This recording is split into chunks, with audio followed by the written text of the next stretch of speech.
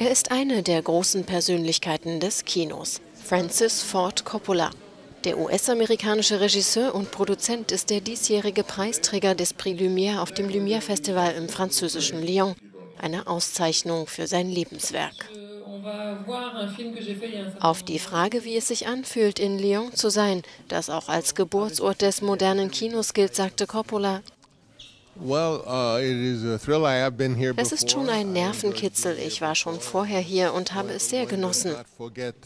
Man vergisst die Vergangenheit nicht, die die Gegenwart erst möglich gemacht hat. Ich denke nicht so sehr daran, dass es eine Auszeichnung ist. Es ist eher so, dass man zu einer großartigen Gruppe Menschen gehört, die vor einem da war und Kino gemacht hat. Thank you. Thank you.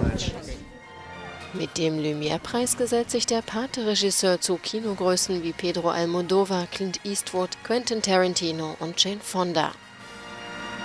Das Lumière-Festival dauert noch bis zum 20. Oktober.